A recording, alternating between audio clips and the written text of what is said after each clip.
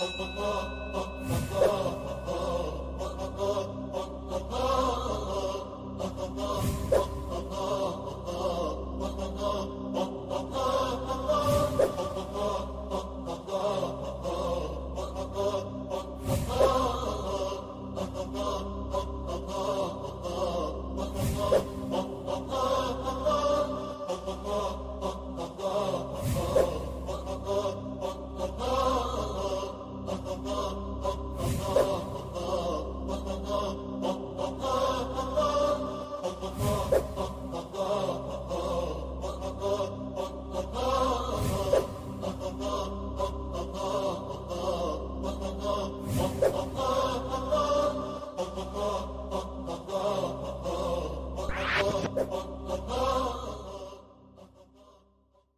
در این آب در این خاک در این مزرعه پاک بجز علم بجز عشق دیگر هیچ نکاریم.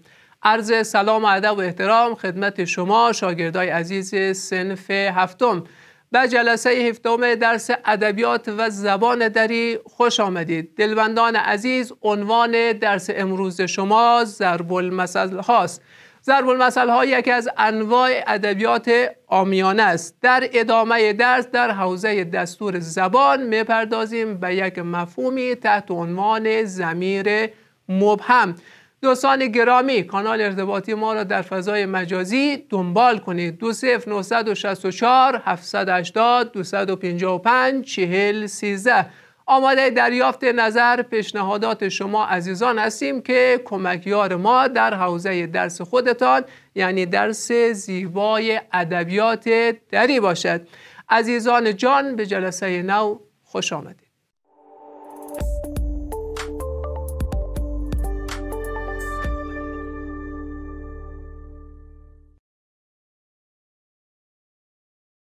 خب شاگردای عزیز قبل از اینکه وارد درس جدید شویم جلسه قبل یک کار خانگی برای شما داده بودیم. ابتدا او را مرور می‌کنیم.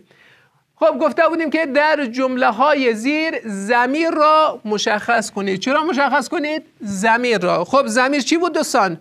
زمیر در تعریفش آمده بود. در جلسه قبل گفتیم خطاب شما. زمیر کلمه است که جانشین اسم شود. جانشین اسم شود و هدف از آوردن زمیر در داخل جمله است که از تکرار یک اسم جلوگیری کنیم. به خاطر که تکرار شود یک اسم در یک متن به طور مکرر باعث نازیبایی و عدم قشنگی اون نوشته می شود خب سه مطلب سه جمله سه بخش برای شما داده بودیم و گفته بودیم که در هر یک از این جملات چرا مشخص کنید؟ زمین را مشخص کنید.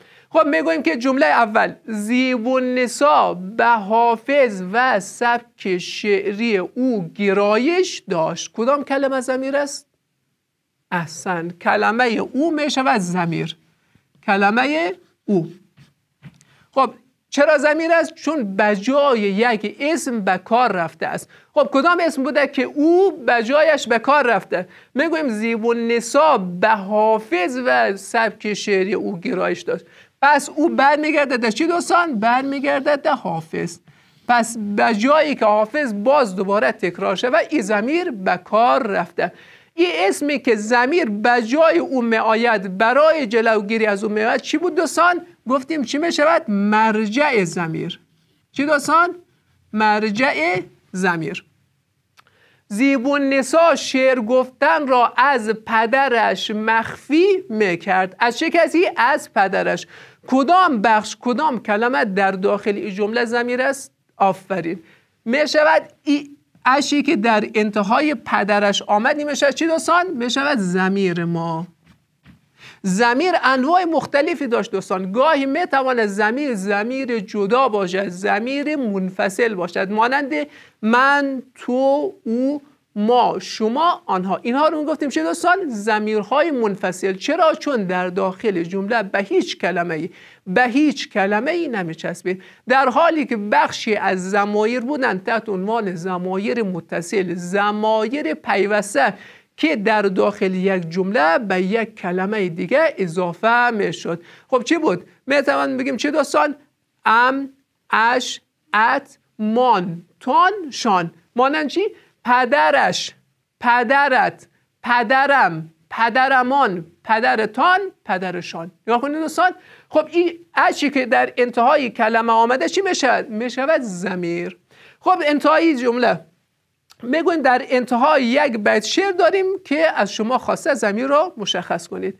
اسرار ازل را نه تو دانی و نه من.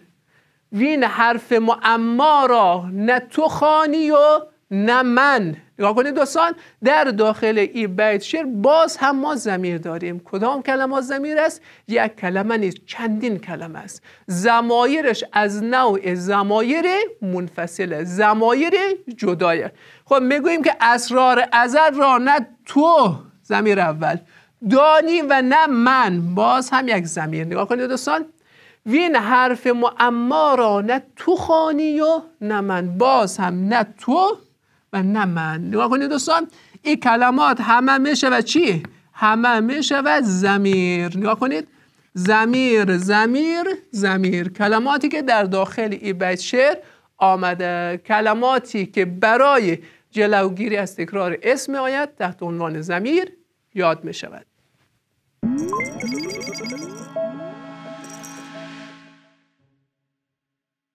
خب شاید عزیز بعد درس اول ما درس امروز ما که تحت عنوان ضرب المثل است وارد می‌شویم و با هم این مفهوم را مرور می‌کنیم.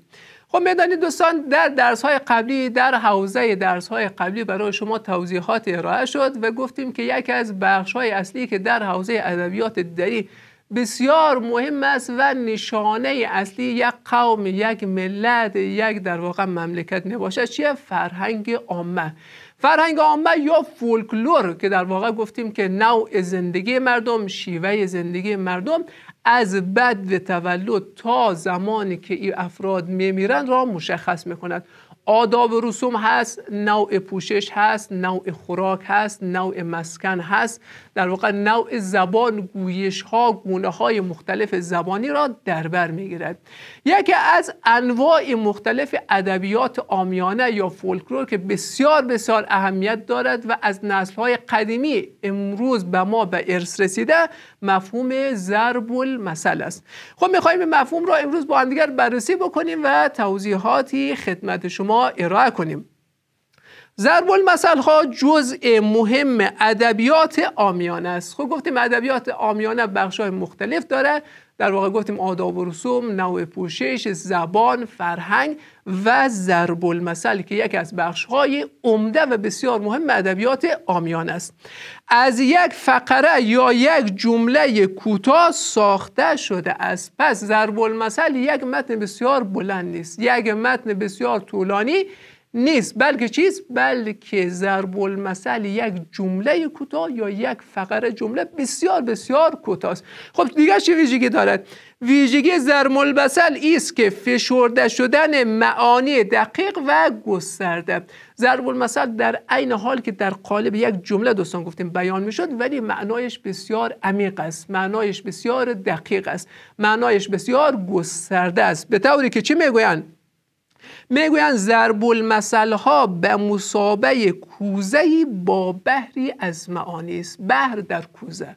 معنای ضرب المثل یعنی چه دوستان؟ معنای ضرب المثل یعنی بحر در کوزه. شما یک دریا را یک دریای بسیار وسیع را در یک محدوده کوچکی تحت عنوان کوزه جای بدهید. این میشه ضرب المثل یعنی چی؟ یعنی یک جمله بسیار کوتاه و کوچک ولی معنایش بسیار گسترده بسیار بسیار عمیق و دقیق. بزرگترین و با ارزشترین بخش ادبیات هر ملت تحت عنوان ضرب المثل است. ضرب المثل ها برای هر مملکتی برای هر ملتی متفاوت است. خب می‌گویند ضرب المثل اگر در حوزه شعر باشد در حوزه شعر شعرا باشد تحت عنوان چی یاد می‌شد تحت عنوان صنعت ارسال المثل. نگاه کنید دوستان صنعت ارسال مثل است که هدفش چیست؟ هدفش تاکید کردن سخن بر مردم است. در حوزه فنون ادبی گفتیم دوستان ما در حوزه شعر بسیاری از فنون بسیاری از آرایه ها رو داریم. از سجد داریم از جناس داریم از تضمین داریم. نگاه کنید دوستان از تسریع داریم. چیزهای متفاوت و مختلفی است که در حوزه فنون ادبی جای می‌گیرد. ولی یکی از چیزهایی که باعث زیباتر شدن باعث قشنگتر شدن شعر یک شاعر می شود استفاده از ضرب المثل است. هرگاه که شاعری از صنعت ضرب المثل در شعر خود استفاده کند تحت عنوان صنعت ارسال المثل از او یاد می شود مانند چی؟ مانند یکی از ابیات شاعر قرن هفتم سعدی شیرازی. چه می‌گوید؟ برگ سبزی است تحفه درویش چه کند؟ به نوا ندارد بیش. نگاه کنید دوستان در داخل ای بشیر میگم تحفه درویش برگ سبزی است تحفه درویش. این قسمت مصرای اول خودش یک ضرب المثل است. به چه اشاره می‌کند؟ به اشاره می‌کند که در واقع ما که یک چی یک هدیه یک سله یک تحفه به شما میدیم این ارزش شما را ندارد. این در واقع بسیار بسیار کم ارزش و ناچیز در قبال شماست. ولی چیزی است که از طرف ما کمترین به شما به عنوان هدیه داده می شود خب حالی دوستان بیایم اگر ضرب المثل هایی که در حوزه کشور عزیزمان افغانستان بسیار کاربرد دارد چند نمونه رو امروز با هم مرور کنیم. خب اولین ضرب المثل چیه دوستان می‌گوید از کیسه خلیفه بخشیدن. یکی از ضرب المثل هایی که بسیار پرکاربرد است در حوزه کشور عزیزمون افغانستان همین ضرب المثل است. از کیسه خلیفه بخشیدن. بارها بارها شاید این در واقع جمله رو این ضرب المثل رو شنیده باشید. معنایش چیست؟ معنایش است که بخشش پول نقد یا جنسی از اموال دیگران. هر زمانی که شما از مال دیگری از پول دیگری از پیسه دیگری بیبخشی به دیگران. از این ضرب المثل استفاده می‌کنن که چرا از مال خودت نمیبخشی؟ از مال دیگری بخشش می‌کنی. از کیسه خلیفه میبخشی این معنایش میشه. خب نمونه دوم چیه دوستان؟ آب ناخواسته مراد است که گاهی وقتا ای را تحت عنوان می‌گوید که آب نطلبیده هم مراد است. اینا هم ذکر می‌شد معنایش چیست؟ معنایش است که وقتی به کسی آب نوشیدنی پیش می‌کشی در واقع طلب نکرده باشد و او را تقدیم می‌کنی این عمل را طرف مقابل به فال نیک می‌گیرد. می‌گوید دست شما درد نکنه. تشنه بودم ولی طلب نکردم دست شما درد نکنه که از نیت ما با خبر بودی و ای را به ما تقدیم کردی. خب یک مورد دیگر دوستان. ضرب المثل بعدی می‌گوید پایت را به اندازه گلیمت دراز کن. بسیار ضرب المثل بردی و در عین حال قشنگ و زیباست. پایت را به اندازه گلیمت دراز کن. معنایش بسیار وسیع است. یعنی چی؟ هشدار دادن به کسی که کاری را که صلاحیت و قدرتش را نداشته باشد انجام دهد. شما می‌گوید چی دوستان؟ می‌گوید که هر کار را به اندازه توانتان انجام دهید. هر زمانی که دیدید که توانایی دارید قدرت دارید ارادت دارید که یک کار را انجام دهید شروع به انجام اون کار کنید. اگر می‌بینید که قدرتش را ندارید تواناییش را ندارید یک نفر به شما هشدار می‌دهد و چی هشدار می‌دهد؟ می‌گوید پایت را پایت را به اندازه گلیمت دراز کن. خب مورد بعدی آب را نادیده موزه را از پای کشیده. معنایش می شود کسی که کاری را نسنجیده انجام دهد یا سخن را بدون تفکر و اندیشه بیان کند. یعنی سخن گفتن از روی نادانی. یعنی سخن بیفکر. هر زمانی که یک انسان اصل زبان است که دوستان شما وقتی کلامی را بیان می‌کنی ابتدا فکر می‌کنی؟ او کلام را در ذهن خودت مزه مزه می‌کنی بعد از اینکه فکر شد بعد بیان می‌شود. تا نشان دهد که پشت این سخن شما یک تفکری است. پشت این حرف شما یک اندیشه ای است. اگر بر اساس اندیشه نباشد بر اساس فکر نباشد این ضرور مسائل به کار می رود که آب را نادیده موزه را از پای کشیده.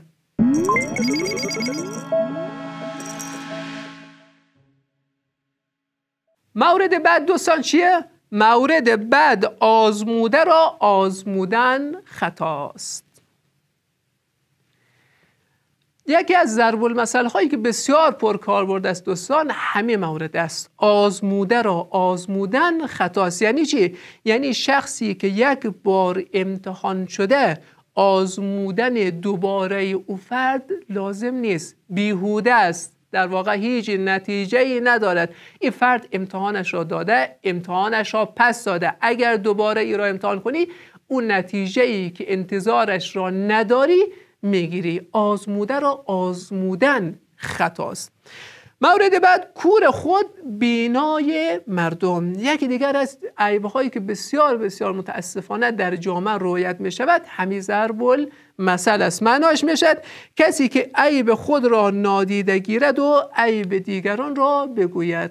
چی می‌گوییم دوستان؟ کور خود بنای مردم. متاسفانه در جامعه ما بسیاری از افراد هستند. انشاءالله که شما شاگردای عزیز در زمره ای افراد نباشید.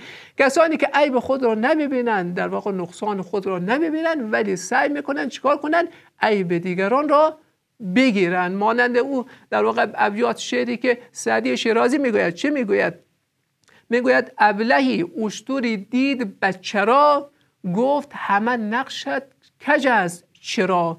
اشتور گفت کندنین پیکار عیب نقاش می‌کنی. دار. یک ابلهی یک نادانی یک دیوانه به یک شطور می‌رسد و نگاه می‌کند و میخندد. می‌گوید ای شطور ای چه عیبتی است؟ ای چه است که تو داری؟ نگاه کن بالای پشت چه وضع است؟ لبخانت چقدر درشت است؟ چرا این قیافه و این تک و پوز بسیار افتاده ای داری؟ این چه پاهایی کشیده ای نابهنجار است. شطور یک خنده می‌کنه سمت ابله و به او می‌گوید که ای دیوانه مگر ما خواستم که به این حیبت به این جسم به این حیکل ساخته شوم آفریده شوم. اگر تو می‌خواهی عیب بگیری اگر تو می‌خواهی خورده بگیری به خالق ما خورده بگیری به خدایی که ما را خلق کرده. حالی کسی می‌تواند به خدا خورده بگیرد خلق کند؟ در واقع عیب گرفتن به خلقت خداوند بزرگترین گناهان است. پس سعی کنیم چیکار کنیم دوستان؟ کور خود بینای مردم نباشیم. مورد بعدی دوستان چیست؟ مورد بعدی قصاب که زیاد شد گاو مردار می شود قصاب که زیاد شد گاو مردار می شود یعنی چی؟ کاری را به چند نفر سپردن که مسئول اصلی او معلوم نباشد. گاهی وقتا می‌گوییم دیگه اگه شنیده باشیم می‌گویند که اگر آشپز دوتا شد غذا یا شر می شود یا به نمک. این در واقع همه ضرب المثل است که گاهی وقتا چند نفر با هم که احساس می‌کند هر کدام بر دیگری برتری دارد یک کاری را انجام بدهد و نتیجه او کار نتیجه مساعد و مناسب نمی شود. برگ سبز تحفه درویش چی کند؟ بینوا ندارد بیش. در اسلاید اول درس امروز ایرا خواندیم که معنایش را باز هم می‌گوییم. عذرخواهی از دادن هدیه کم و ناچیز به دیگری. چیزی که شما به کسی به عنوان سله هدیه میبخشید می‌دهید و او بسیار بسیار ناچیز است در قبال شعن و شخصیت طرف مقابل و شما می‌خواهید از طرف مقابل عذر خواهی کنید از این ضرب المثل استفاده می‌کنید. برگ سبزی است تحفه درویش.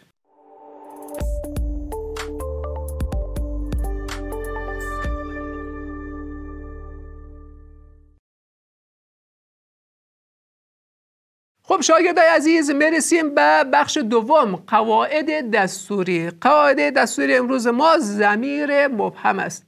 در جلسه قبلی برای شما بیان کردیم گفتیم که واژه زمیر چیست؟ زمیر کلمه است که بجای اسم در داخل جمله به کار برده می شود.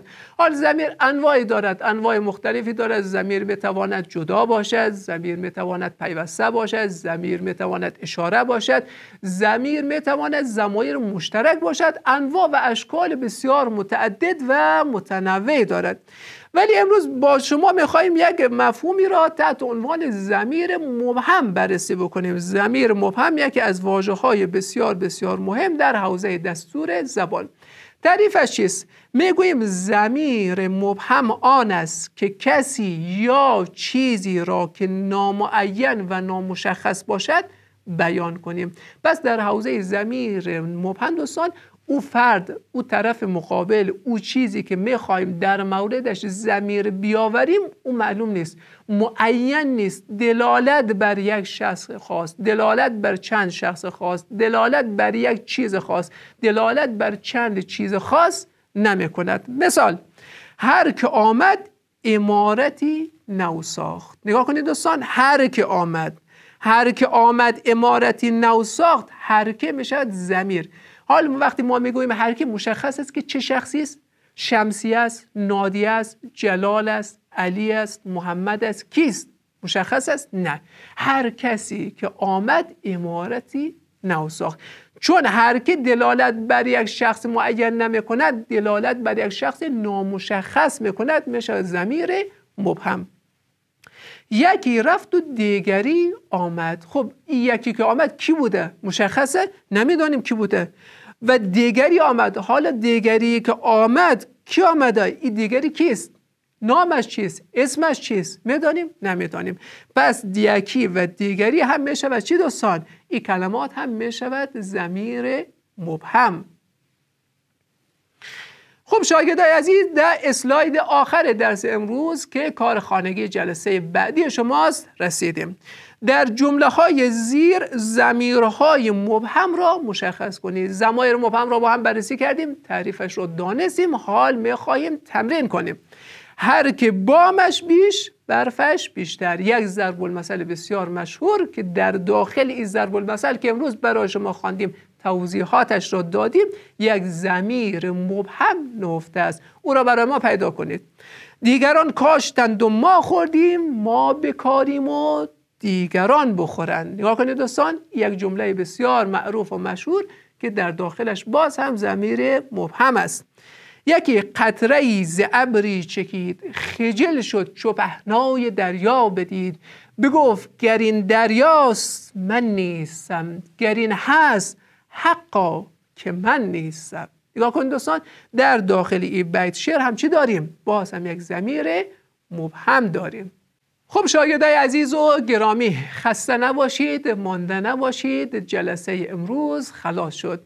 عزیزان جان کانال ارتباطی ما را در فضای مجازی دنبال بکنید. 20964 780 255 40 13 آماده دریافت نظر و پیشنهادات شما برای بهبود و کمکیاری درس زبان و ادبیات دری خواهیم بود. عزیزان جان تا جلسه دیگر خداوند یار و نگهدارتان.